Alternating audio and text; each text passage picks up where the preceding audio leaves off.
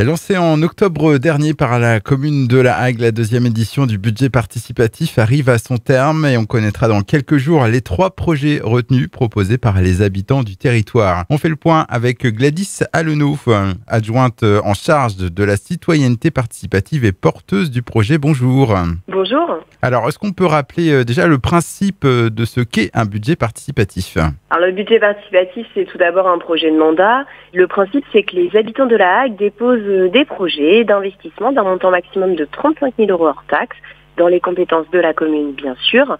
Ces projets sont ensuite examinés par les services à un comité de pilotage qui est composé d'élus et d'habitants, qui valide et entérine les projets qui sont ensuite soumis au vote des habitants. Et les trois projets qui rencontrent le plus de votes sont réalisés par les services de la mairie dans un délai imparti. Alors c'est donc la deuxième édition hein, lancée par la commune de Lague. La première avait été lancée en 2021. On peut rappeler aussi les projets euh, que ce budget participatif a permis de réaliser? Évidemment, donc cette première édition, ça a déjà été un, beau succès puisqu'on avait eu 51 euh, projets de déposés et 11 projets soumis au vote des habitants et on a eu à peu près 10% de la population qui a voté, 974 votes.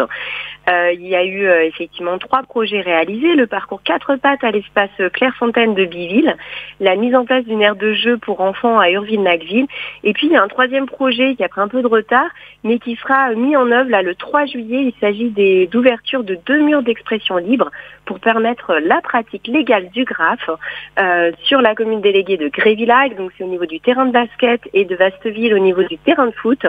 Et euh, on inaugure ces murs le 3 juillet à 14h, donc n'hésitez pas si vous voulez venir graffer, c'est le moment de pouvoir vous exprimer sur des murs.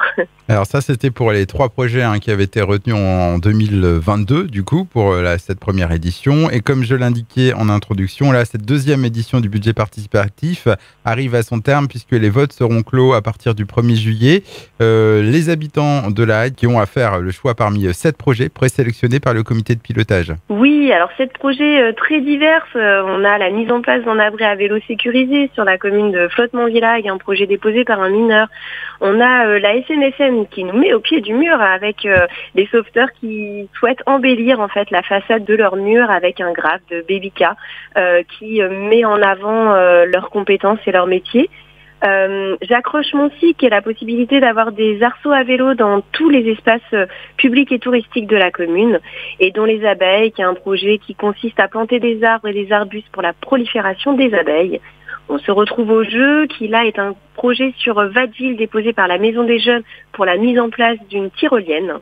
Euh, une œuvre aussi hein, pour la Maison des Jeunes qui met en avant un graphe d'œuvre artistique et puis un nouvel abri de bus euh, à Beaumont-Hague déposé par les salariés de l'ESAT pour pouvoir se mettre à l'abri et être en sécurité sur un abri de bus euh, rue Jacques Prévert. Et tous ces projets, euh, donc ces sept projets présélectionnés, on peut les découvrir en détail sur le site de la commune?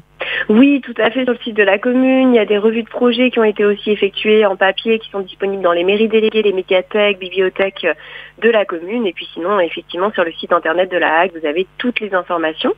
Donc une revue de projet et puis vous pouvez effectivement voter aussi euh, via les mêmes endroits, donc euh, ou en papier euh, dans les communes déléguées, les bibliothèques, les médiathèques, au Cap numérique, au centre culturel ou sur le site internet. C'est tous les habitants âgés de 11 ans qui peuvent voter en version dématérialisée ou papier jusqu'au 1er juillet.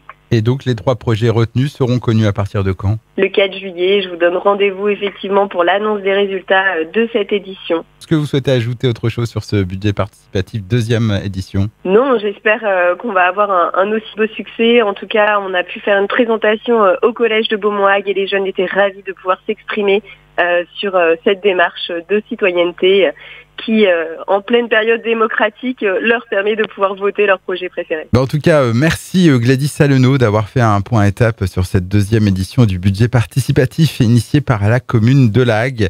On rappelle que vous êtes adjointe en charge de la citoyenneté participative et porteuse du projet. Je vous dis au revoir. Au revoir, merci à vous.